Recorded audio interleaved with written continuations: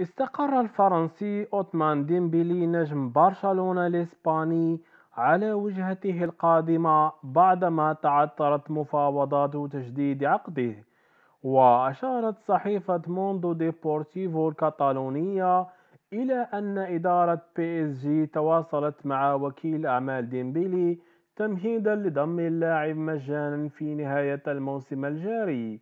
وأضافت إلا أن كل المؤشرات تنذر بأن أوتمان ديمبلي في طريقه إلى الانضمام إلى أحد الأندية الإنجليزية وكشفت أن توتنهام يعد أبرز الراغبين في ضم ديمبلي بينما يترقب مانشستر يونايتد موقف اللاعب باهتمام بالغ. ولفتت الصحيفة الكتالونية أيضا إلى أن نادي تشيلسي بإمكانه إغراء أوتمان ديمبلي ماديا.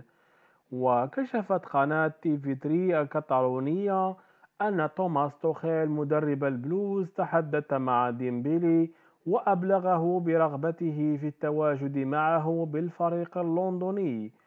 واعتبارا من أول يناير المقبل سيدخل أوسمان ديمبلي آخر ستة أشهر من عقده مع برشلونة ما يعني أنه سيكون قادرا على التفاوض بحرية مع أي ناد آخر.